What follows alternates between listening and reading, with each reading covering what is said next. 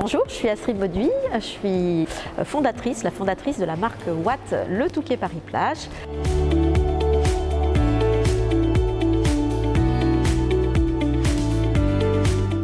Est une marque euh, donc des soins naturellement complices de l'enfance.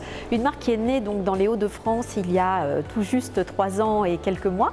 Euh, donc destinée aux enfants de 4 à 11 ans pour répondre à des problématiques de peau qui sont très particulières, qui sont différentes de celles du bébé et de celles des adolescents.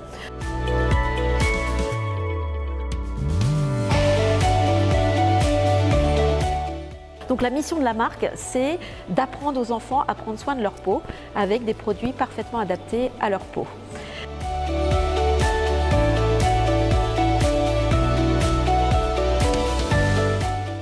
Donc 20 produits aujourd'hui. L'originalité et l'innovation qu'il y a autour de ma marque, c'est cette approche très holistique qui implique les enfants.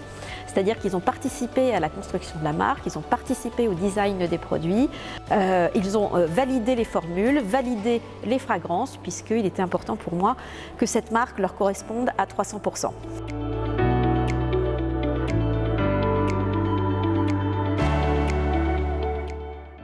Tout un travail fait avec le corps médical, euh, euh, des dermatologues, des pédiatres et également un ergothérapeute, puisqu'il y a eu tout un travail également autour du packaging, de telle sorte à ce que l'enfant puisse utiliser ces produits dès l'âge de 4 ans.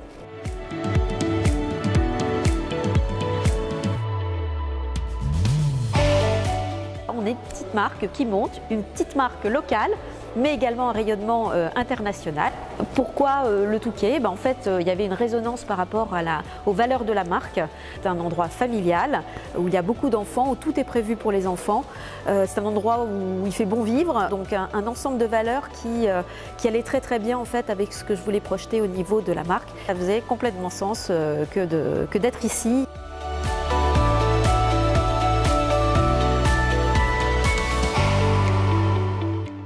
Entreprise qui est relativement jeune, donc avec des recrutements euh, ben, permanents, euh, puisque l'entreprise se développe, donc des recherches de profils plutôt internationaux euh, et qui répondent donc aux besoins d'une marque, marque en développement, donc plutôt axé commerce, marketing, développement, supply chain. Donc voilà l'ensemble des besoins qu'on peut avoir à court terme pour le développement de notre société.